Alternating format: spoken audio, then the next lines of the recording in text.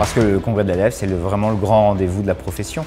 Tout le monde trouve quelque chose à l'ADF, aussi bien pour sa formation professionnelle, pour son cabinet, pour son équipe dentaire. Il faut venir à l'ADF.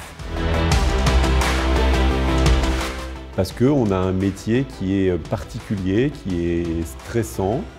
Euh, on est euh, la tête dans le guidon avec un rythme dense, on est souvent isolé et donc euh, c'est une respiration professionnelle et individuelle et humaine.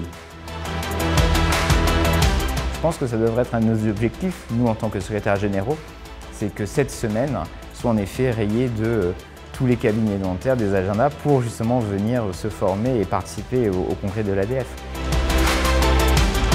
Euh, il y a un moment donné, pour soigner les gens, on ne veut pas euh, simplement le faire que par l'intellectuel par simplement son stylo et une prescription. Il faut qu'on les soigne. Donc on a besoin de matériel, on a besoin d'équipement.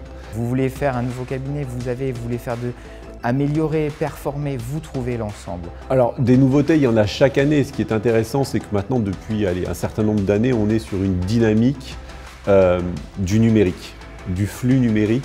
Quatre niveaux d'exposition, euh, vous avez les dernières nouveautés, vous avez l'ensemble de... Vous trouvez tout ce que vous voulez. C'est l'atmosphère.